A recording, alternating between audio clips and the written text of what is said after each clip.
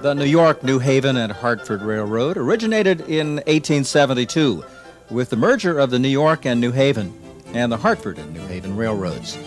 Over the next 20 years or so, it absorbed virtually every other railroad in Connecticut and Rhode Island and many in eastern New York and southern Massachusetts by lease, merger, or outright purchase.